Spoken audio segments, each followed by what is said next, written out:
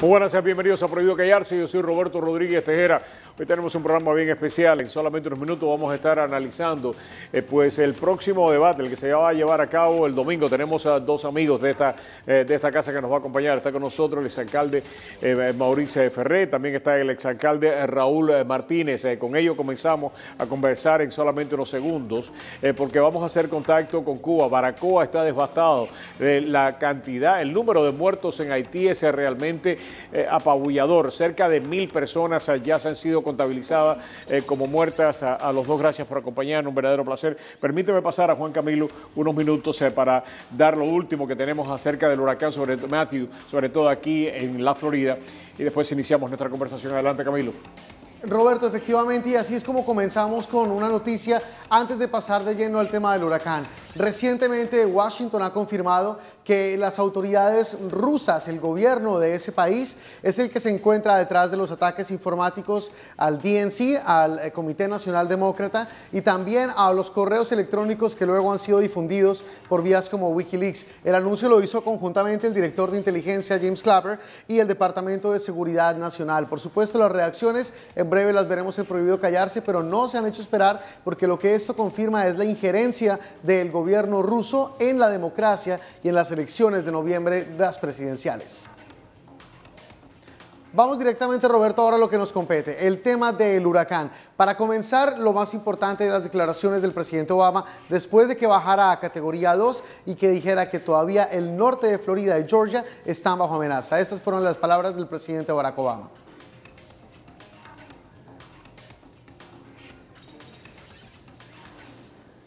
Mientras tanto, Roberto, antes de ir directamente a las palabras del presidente, vamos a volver al estudio porque sabemos que los problemas en Haití no se han detenido y lo que ha ocurrido hasta ahora es, pues, como bien se dijo, más de 800 muertos, Roberto. Efectivamente, Camilo, vamos a ir directamente antes de comenzar a conversar eh, con James Pierre. Como todos ustedes saben, nos ha acompañado en otras ocasiones, es eh, colega, periodista, ha estado muy al tanto de lo que está pasando en Haití. Lo tenemos acá, Jean Pierre, gracias por acompañarnos. Un momento de dolor para el pueblo haitiano, más de mil muertos, o sea, cerca de mil muertos ya, ¿no? Sí, por ¿Qué es lo que ha pasado? Cuéntame. Por supuesto, el pueblo haitiano está viviendo todavía un cuadro de devastación muy horrible eh, después de tres días del paso de, de huracán Matthew. Estamos hablando ahora de casi 800 muertos. El número está subiendo todavía. miles de personas están viviendo en la calle todavía. A ciudades ¿Hay capacidad de ayuda? ¿El gobierno está ayudando? El gobierno está ayudando con el apoyo del gobierno americano, porque ahora el gobierno americano está poniendo a la disposición del gobierno haitiano dos helicópteros. Entonces ellos están utilizando eso para mandar, para traer ah, agua, comida para la gente que está viviendo ahora. Esta es la zona más pobre de Haití, me han dicho, ¿no? Esta es una de las zonas más pobres de Haití. Esta la, está la zona más pobre y también la zona más cerca del mar es por eso que eh, ellos tienen un golpe muy, muy fuerte. Para beneficio de nuestros televidentes, esta no es en la frontera con República Dominicana, es precisamente la parte de Haití más cerca a Cuba, al paso de los vientos, y ahí fue donde golpeó más fuertemente. ¿Qué pueden hacer los televidentes para ayudar a Jean-Pierre? Lo que ellos pueden hacer ahora, hay organizaciones en eh, aquí en los Estados Unidos, en Miami especialmente, que están poniendo cosas junto en cajas para mandar en, en, Haití con el apoyo del consul. Entonces ellos pueden ayudar, ah, si quieren poner contactos con uh, CMS y también otras organizaciones, eh, la Iglesia Católica, uh, Notre Dame y también el, alcalde de Tomás Ergalado que está haciendo uh, movimientos así para ayudar al pueblo haitiano. ¿Ha, habido movilización? sí, una movilización muy grande, no solamente de la comunidad haitiana, pero también de toda la comunidad de Miami. Ah, para ayudar a los haitianos ah, que están pasando por mucho ahora en Haití. Cuenta con nosotros, mi querido amigo. ¿eh? Es un placer. Gracias. Muchísimas gracias. Efectivamente, ¿qué, es lo que está pasando aquí eh, en Miami? Precisamente eso es lo que queremos hablar eh, tanto con Raúl Martínez como con el alcalde Ferré. Raúl, la respuesta, ¿qué te ha parecido hasta ahora? La respuesta... De las autoridades. Mira, yo tengo un problema tremendo cuando yo veo las autoridades políticas, y todos somos políticos, utilizar estas desgracias y estos problemas para cuestiones políticas. Como por ejemplo. Ejemplo, la conferencia de prensa de Carlos Jiménez estaba rodeada de todos los políticos amigos de él que están postulados en esta elección. Y excluían a los que no eran amigos de él. Y excluían a los que no estaban amigos de él. Eh, vimos al gobernador Rich Scott, que está peleado con Carlos Jiménez, dar una conferencia de prensa. a Carlos Jiménez. lo destituyó por completo de una conferencia de prensa. Pero yo lo dije aquí el lunes, de una conferencia de prensa en un centro de operaciones de emergencia de Jayalía, que eso era un edificio viejo que nosotros fabricamos como el Departamento de Comunicación y ahí había un cuarto que era el que eh, se utilizaba eh, como cuarto de emergencia. Pero en la realidad, el cuarto de emergencia de la ciudad está hoy en día en, el edificio de los bomberos, en el segundo piso. Y que Pero tremendo centro.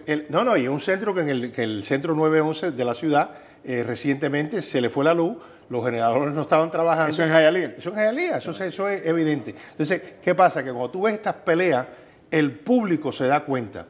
Y entonces el público pierde la esperanza y pierde la fe. Cuando tú ves a los alcaldes de otras partes de, la Florida y ves los gobernadores que van y dan su pronóstico, le hacen la petición a las personas, pero no ponen a un congresista a hacer prácticamente la función de, jefe de FIMA, no ponen a un comisionado o no ponen a un senador estatal. Eso es vergonzoso, Carlos ¿Eso pasaba en el tiempo de ustedes? Mm, yo creo que mucho menos. Mira, pero para ser justo. No pasaba, Mauricio es diplomático.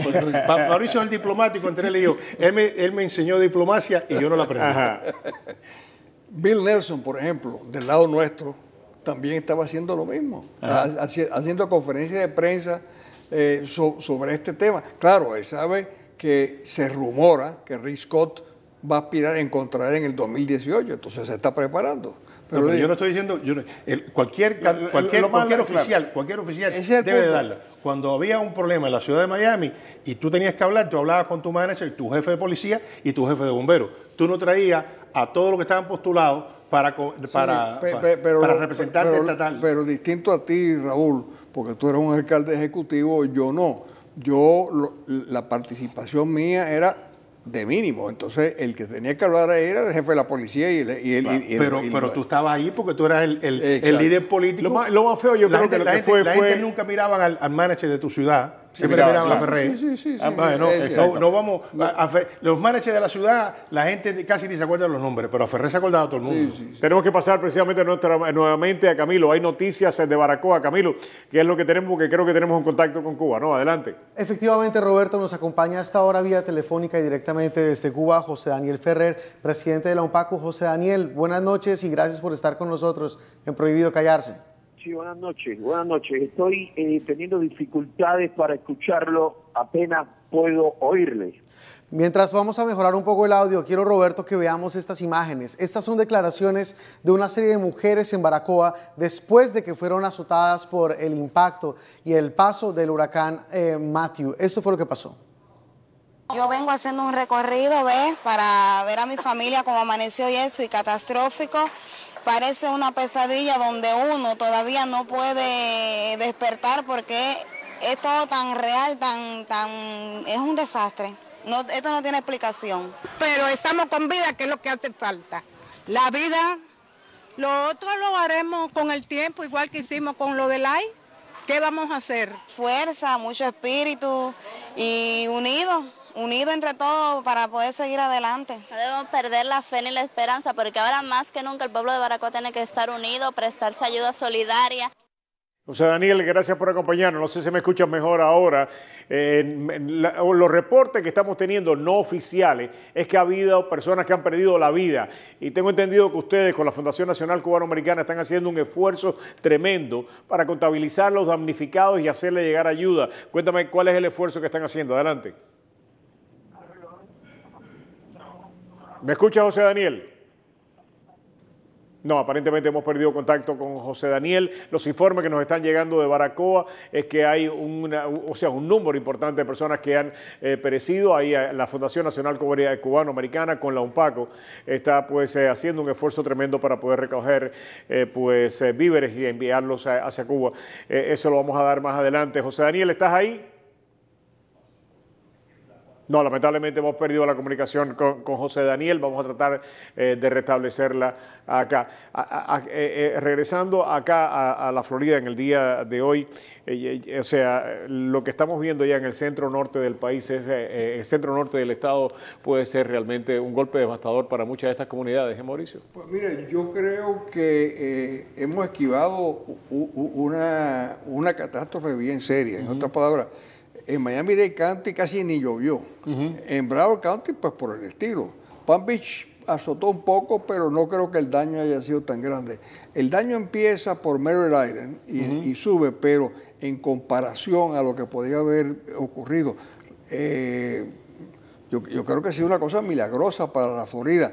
Eh, tenemos que ver lo que ha ocurrido hace, hace una o dos horas en Jacksonville. Que todavía no tenemos que todo el todavía reporte. no tenemos todo Todavía el le, está, todavía le está dando. Ay, ah, También va, va- cuando siga, cuando siga va a dar va bastante duro, por, o sea, A Georgia le va a dar durísimo. Durísimo. Eh, le va a dar, Charlotte le va a dar duro. Ahí hay una isla que se llama Tybee Island. Que la están está- evacuando Que la completa, están evacuando completa porque esa sí la puede pasar de un lugar al otro si viene una marea alta. Después tienes a Savannah, Georgia también, que tiene esos problemas. Aunque Savannah, Georgia está un poco más alto, pero tiene, tiene problemas de, de inundación. Y después va hacia Charleston. Efectivamente. Y de ahí no se sabe si va a continuar en el curso que dice o si todavía no nos hemos escapado de dar una vuelta. efectivamente.